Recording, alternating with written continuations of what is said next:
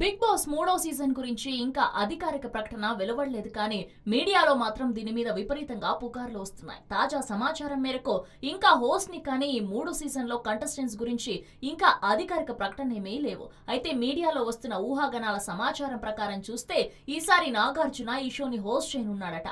దీనికి సంబంధించిన అధికారిక ప్రకటన ఈ నెలలోనే బయటకు రానుంది. ఇంకా కంటెస్టెంట్స్ ఎంపికని టీం మొదలుపెట్టిందని తెలుస్తోంది.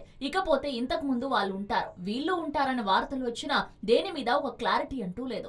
అందుకే ఇప్పుడు తెలిసిన సమాచారం మేరకు తెలుగు సింగర్ రాహుల్ సిప్లిగంజ్ ఈసారి ఒక కంటెస్టెంట్గా షోలో మెరవనున్నాడని టాక్ నడుస్తోంది.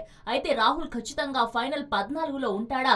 లేక ఇంకా అతని గురించి నిర్ణయం తీసుకోలేదా అనేది మాత్రం తెలియాల్సి ఉంది. మిగిలిన వివరాలు త్వరలో వెల్లడవుతాయి. హలో! మిమ్మల్ని సినీ సెలబ్రిటీస్ రియల్ స్టోరీస్ ఏంటో తెలుసుకోవాలనుందా? లేటెస్ట్గా రిలీజ్ అయ్యే మూవీ రివ్యూస్ నేను చెప్తే వినాలనుందా? ఇంకెందుకు ఆలస్యం? యోయో సినీ టాకెస్ని సబ్స్క్రైబ్ చేసుకోండి. బాయ్! హా అన్నట్టు ఇంకో విషయం మర్చిపోయాను. కింద ఒక గంట సింబల్ ఉంటుంది. దాన్ని లాగి బట్టి ఒక్కటి కొట్టండి.